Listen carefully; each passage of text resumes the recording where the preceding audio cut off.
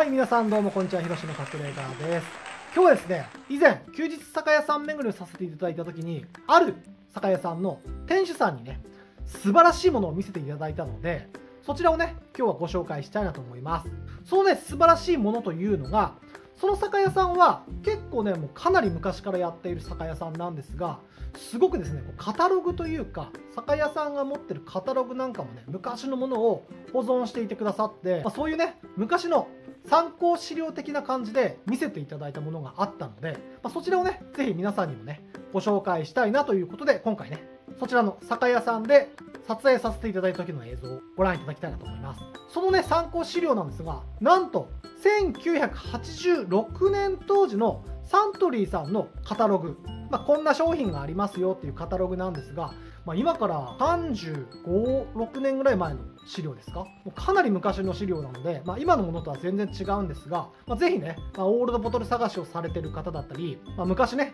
どんなウイスキーがあったのかっていうのを知りたい方には、今回のね、この酒屋さんから提供していただいたカタログっていうのはすごくね参考になると思うので、まあ、ぜひね皆さんご覧になってみてください。ではどうぞ。